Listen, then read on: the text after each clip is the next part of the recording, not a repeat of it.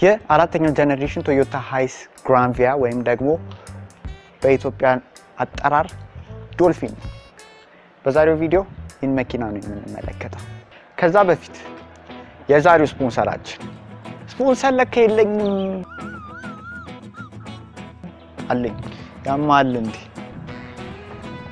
የዛሬው ስፖንሰሬ የምታዩቸው earphone ኖች ናቸው።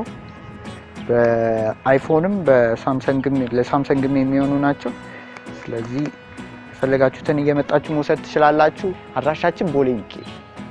ስለዚህ እኔ የሚያረኩት አይነት ማንኛውንም አይነት color እንደዚህ አይነቶቹንም ማግኘት ትችላላችሁ ማለት ነው። ስለዚህ እነዚህንም እየመጣችሁ መውሰድ ትችላላችሁ።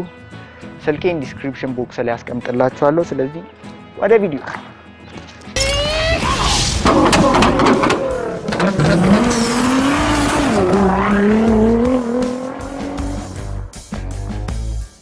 Toyota Hiace ከ1967 ጀምሮ መመረት የጀመረ መኪና ሲሆን ከመጀመሪያው እስከ ሶስተኛው generation በ mini van እና በ pickup truck ነበር የሚያመርቱት።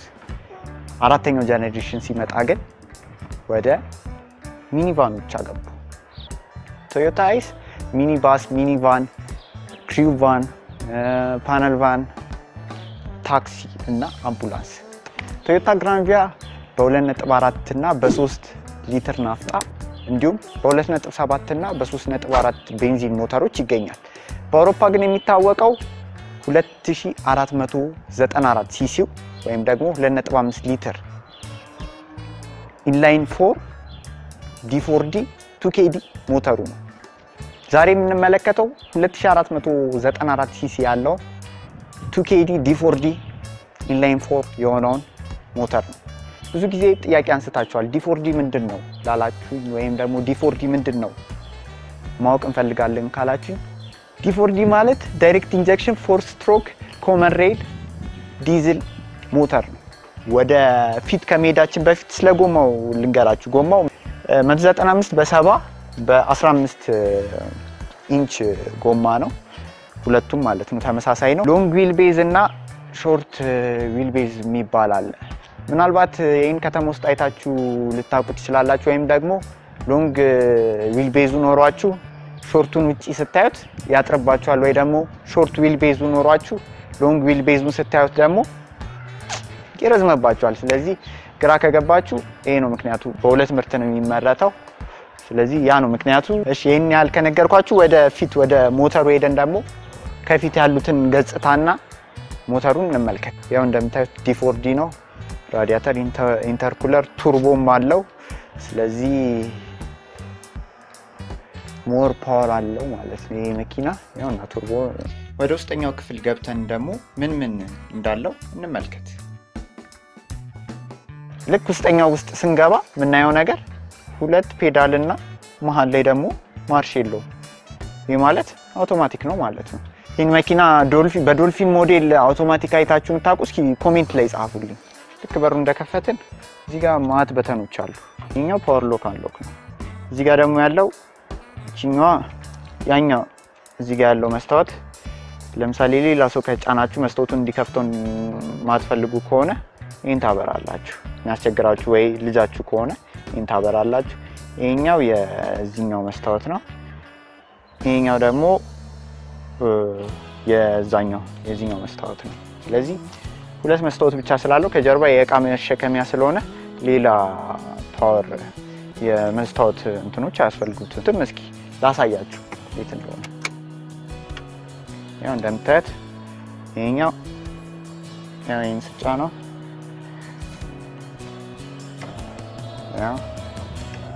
ይህ ወደ ታች ወደ ላይ ነው።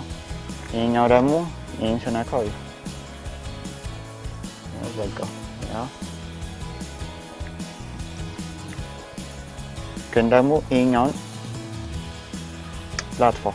ከዛ ይሄኛው እኔም መቆጣጠር አልችልም፣ እሱም መቆጣጠር አይችልም። በዛ በኩል ቆይ ላሳያችሁ። ያችሁት ምንም መቆጣጠር አይችልም። ስለዚህ ከፍም ዝቅም አይልም። ስለዚህ ይሄ አንዱ ጥቅም ነው ማለት ነው። ያው አሁን መስታወቱን እዩት። እዚች ጋር የ mirror left እና right አለው። mirror ኡን adjust ማድረግ ትችላላችሁ። ስለዚህ አሁን left ላይ ነው፣ left ላይ ነው። ስለዚህ adjust ሳደርገው ያው ሲንቀሳቀስ፣ ስለዚህ adjust ማድረግ ትችላላችሁ። reset oil change የሚል አለ። ስለዚህ በየጊዜው reset ስታደርጉት ራሱ count አድርጎ አምስት ሺህ ላይ ያመጣላችኋል ማለት ነው። እዚህ ጋር ተጨማሪ button ኦች ስላሉ ለምሳሌ ለምሳሌ አሁን LED halogen ኡን LED ማድረግ ከፈለጋችሁ halogen ኡ እያለ LED መጨመር ከፈለጋችሁ button ኦቹን እዚህ ጋር መክተት ትችላላችሁ። እዚህ ጋር P R N D two L L low ነው፣ ስለዚህ የመጀመሪያው ማርሽ ማለት ነው። two ደግሞ ከሱ ፈጠን ያለው ወይም ሁለተኛ ማርሽ ማለት ነው። ሌላኛው AC AC ያለው እዚህ ጋር old ማንም የሚጠቀም የለም የካሴት ነው ያለው። ሌላኛው ደግሞ ይኸው እዚህ ጋር on ሳረገው ይኸው time አለው። እዚህ ጋር ደግሞ 12 volt የሲጋራ ማጨሻ ወይም ደግሞ እኛ ሀገር በብዛት የምንጠቀምበት ስልክ ቻርጅ ለማድረግ ነው። ሌላኛው በጣም ከዚህ መኪና ምወደው ይሄኛውን part ኡ ነው። አሁን እንዳላሳያችሁ አይሰራም፣ ግን ልንገራችሁ ምንድን ነው የሚያደርገው? parking slot ላይ ወደ ኋላ ስትሄዱ እዚች ጋር M የምትል ምልክት አለች። M እና R R እዚች ጋር ቀይ ምልክት ትመጣና ትበራለች። እዚህ ጋር ግን አረንጓዴና ቀይ መሰለኝ እዚህ ጋር የሚበራው፣ እዚህ ጋር ግን በቀይ ጽሑፍ የቀረውን ሜትር ያሳያችኋል። ስለዚህ መኪናው ለመጋጨት ምን ያህል እንደቀረው ወይም ከኋላው ማንኛውም ነገር ካለው sensor አለው። sensor ኡን በኋላ ላይ ቆይ አሳያችኋለሁ።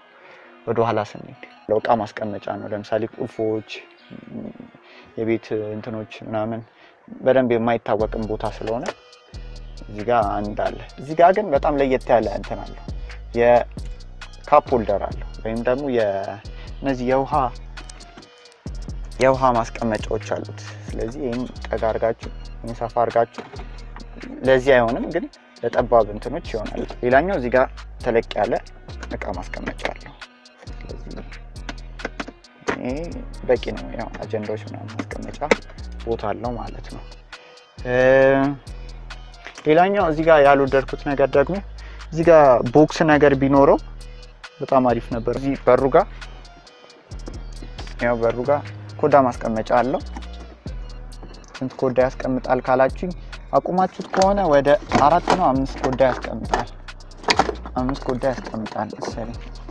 እዚህ ጋር ሁለት አለ፣ እዚህ ጋር ሶስት፣ ከዛ እዚህ ጋር አራት፣ እዚህ ጋር አምስት ማለት ነው። እዚህ ጋር ሰካ አድርጋችሁ አምስት።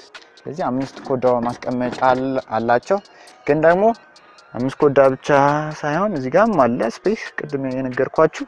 ሌላኛው እዚህ ጋር የሁለት ተጨማሪ ሰዎች ማስቀመጥ ይቻላል። ያው አዲስ አበባ ውስጥ ሁለት ሰው ተጨማሪ ማስቀመጥ ይቻላል። ክፍለ ሀገር ግን አይቻልም። አንድ ሰው ብቻ ነው። ወደ ክፍለ ሀገር ይዛችሁት መኪናውን መሄድ ከፈለጋችሁ አንድ ሰው ነው እና ይህን ካያችሁት ደግሞ እዚህ ጋር የለውም፣ እቃ ማስቀመጫ የለውም እንደምታዩት። እዚህ ወደ ጀርባው እንሂድና አንዳንድ ነገር ላሳያችሁ።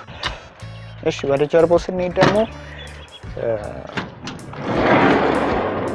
እንደምታዩት long wheel base ነው ያለው ብያችኋለሁ። ስለዚህ ረዘም ያለ capacity ወይም ደግሞ ተለቅ ያለ capacity መሸከም ይችላል። ይሄኛው መኪና 1170 ኪሎ ተሸክሞ መጓዝ ይችላል። እዚህ ጋር እንደምታዩት ማስቀመጫም ተሰርቶለታል። ይህ ለአንዳንድ እቃዎች ነው እንጂ ከፋብሪካው ሲመጣ እንደዚህ አልነበረም። ይህም ነገር አይኖርም። ከፋብሪካ ሲመጣ ቀጥታ ብረቱ ብቻ ነው የሚኖረው። ስለዚህ ይህንን ራሳችሁ ናችሁ የምታሰሩት ማለት ነው። የመኪናው ክብደት 1820 830 ነው። ስለዚህ እዛ ሬንጅ ውስጥ አንድ ላይ ሲደመሩ 3000 ኪሎ ተሸክሞ መንቀሳቀስ ይችላል። 3000 ኪሎ ማለት 3 ቶን አጠቃላይ መኪናው መንቀሳቀስ ይችላል። ተጨማሪ ደግሞ 2000 ኪሎ ግራም እየጎተተ መጓዝ ይችላል ማለት ነው ከጀርባ። እስኪ ወደ ጀርባው ይዣችሁ ልሂድ። ወደ ጀርባው ደግሞ ስንሄድ pneumatic holder አለው። ያው እንደምታዩት ቅድም ያልኳችሁ light ኡ ይህም LED ዎች አይደሉም halogen ናቸው። ቅድም አሳያችኋለሁ ያልኩት parking sensor እነዚህ ናቸው። በመጨረሻ እንደዚህ አይነት የመኪና ቪዲዮ ለማየት ሐሙስና እሑድ ነው በብዛት የምንለቀው። ሐሙስና እሑድ ለማግኘት subscribe ማድረጉ እንዳይረሱ፣ የደወሏን ምልክትም በዛው በየጊዜው አዳዲስ ቪዲዮ ሲወጣ እንዲደርሳችሁ። ስለ መኪና መስማት ደግሞ ደስ የሚላችሁ ሰዎች support እንድታደርጉኝ እፈልጋለሁ። ያስቀረሁት ነገር ካለ ያልጠቀስኳቸው ነገሮች ካሉ ጥያቄዎች ካሏችሁ comment ላይ ጻፉልኝ። ስለዚህ እኔም እየገባሁ እያንዳንዱን comment በተቻለኝ መጠን ለመመለስ ሞክራለሁ። በዚሁ ልሰናበታችሁ ነው። በአዲስ ቪዲዮ እስከምንገናኝ ስለምታግዙኝ፣ ስለምደግፉኝ እና ስለምታበረታቱኝ እያመሰገንኩኝ በዚሁ እሰናበታችኋለሁ። መልካም ቀን